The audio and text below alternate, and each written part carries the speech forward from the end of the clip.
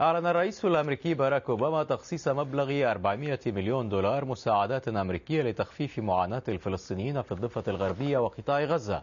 كما أكد أوباما عزم الولايات المتحدة على مواصلة المفاوضات غير المباشرة وخلق المناخ الملائم لتحقيق نجاح يؤدي إلى إنجاز الحل المبني على قيام الدولتين حسب تعبيره. هذا تقرير لمراسلنا لقمان أحمد من واشنطن. برغم تطلعات الرئيس الأمريكي باراك أوباما ورئيس السلطة الفلسطينية محمود عباس بإنجاز تقدم في لقاء البيت الأبيض في اتجاه مسيرة السلام إلا أن اللقاء بقي حبيس معضلة غزة وإيصال المساعدات الإنسانية إليها. With respect to the broader issue of lifting the blockade.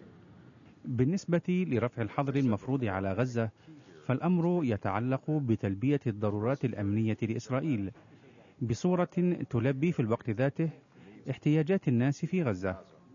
بالنسبة لنا فإن الأمر يبدأ بضرورة التركيز على شحنات الأسلحة بدلا من التركيز على وقف كل شيء بصورة عامة. نحن نتحدث مع شركائنا الأوروبيين ومع مصر وإسرائيل والسلطة الفلسطينية أيضا وقد نستطيع تحويل المأساة التي وقعت إلى فرصة لخلق وضع يحسن حياة الناس في غزة.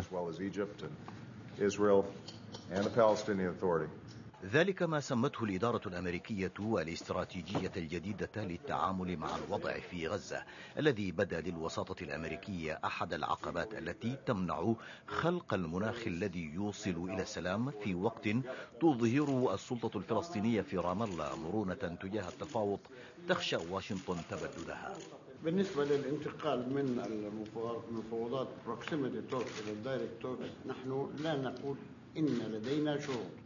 وإنما حصل أننا اتفقنا على أنه عندما يحصل تقدم في ال proximity talks أن نذهب إلى ال direct talks والآن نحن نسعى والرئيس يسعى كل جهده من أجل أن يحصل هذا التقدم الذي يقودنا إلى المفاوضات. واعتبر الرئيس الأمريكي الوضع في الشرق الأوسط غير قابل للاستمرار ودعا إلى تسريع الخطى للتوصل إلى سلام شامل مع كافة الأطراف المعنية. يحرص البيت الأبيض بكل الوسائل على خلق بيئة تمنع ظهور حوادث تعرقل استمرار التفاوض المباشر. وهنا يبرز عنصران كما علمنا من البيت الأبيض. الأول هو معالجة معضلة حماس والثاني هو إقناع إسرائيل بتبني موقف مرن تجاه مسألة إدخال المساعدات الإنسانية إلى غزة. لقمان أحمد بي بي سي واشنطن.